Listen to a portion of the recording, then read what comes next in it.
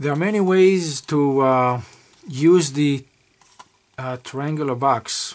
One way uh, to do it is um, use if you if you want it to stand upright. So there's kind of uh, it's gonna stand like so. Uh, you use either paper or something a transparent uh, mylar. So this is what I use. I show you how I do it. First, you make a fold like so it turn it around.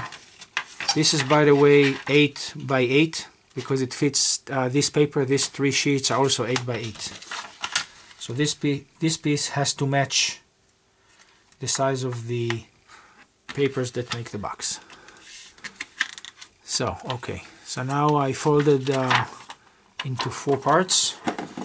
And you take one part one crease and you cut it all the way to the midpoint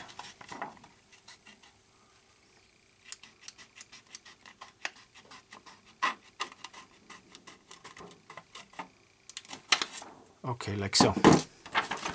So now you bring collapse one rectangle uh, square on top of the other. And now you have this uh, kind of a pyramid shape or three-way.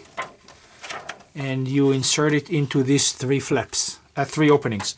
You start with the one that has the two sides the two papers the two parts and then you apply the other two into the flaps. And this is it is. Now on this side it looks like a box like a like a cube. On the other side it's open. So it's resting very comfortably as if it's a box on this side. And also it has an illusion that it's kind of uh, standing uh, in the air um, at least from far away. So this is how the box uh, can be assembled